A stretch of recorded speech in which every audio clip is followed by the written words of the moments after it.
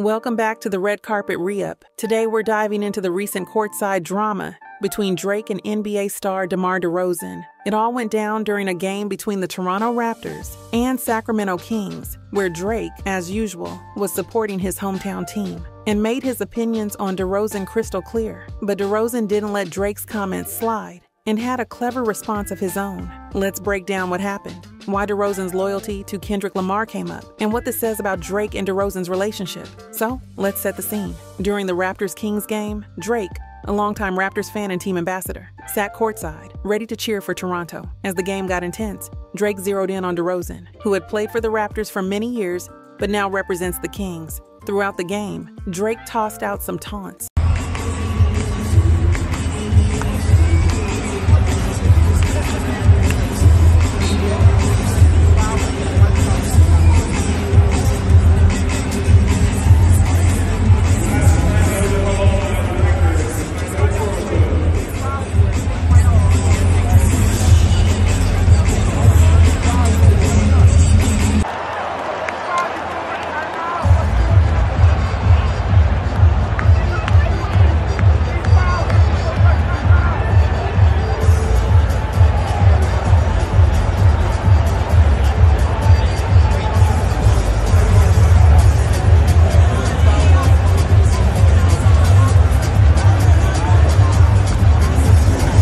Even calling DeRozan a goof and promising that he'd tear down any banner put up in DeRozan's honor.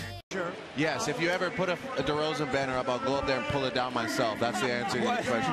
And when DeRozan missed a game tying shot, Drake didn't hold back, mouthing some unfiltered words. It wasn't the first time Drake has shown his competitive spirit.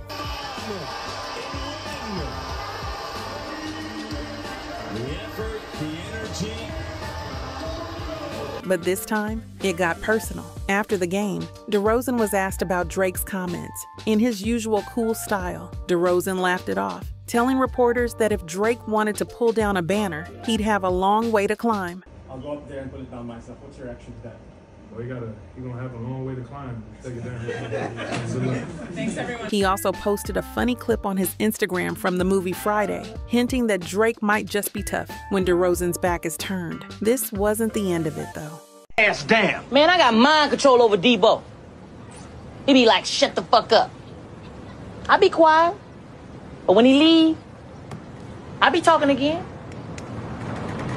DeRozan explained his strong loyalty to Kendrick Lamar, who's a fellow Compton native. In an interview with The Breakfast Club, he emphasized that his roots in Compton come first, even though he has love for Toronto and Drake as well. DeRozan admitted he hasn't spoken to Drake since his feud with Kendrick started earlier this year, hinting that things might be a bit tense. But DeRozan's loyalty to his Compton roots, and by extension Kendrick, is clear. Kendrick Lamar has shown his support for DeRozan too. In Kendrick's recent diss track, he even name drops DeRozan, saying he's glad DeRozan came home after leaving Toronto. The two share a deep connection to their hometown and pride in Compton, which is something DeRozan says he values deeply. This adds an interesting layer to the drama, as Drake has been publicly at odds with Kendrick Lamar for a while. For DeRozan, it's less about choosing sides and more about staying loyal to his roots. Drake's courtside rivalry with DeRozan gave fans a glimpse into some friendly yet competitive drama. For DeRozan, loyalty to his hometown of Compton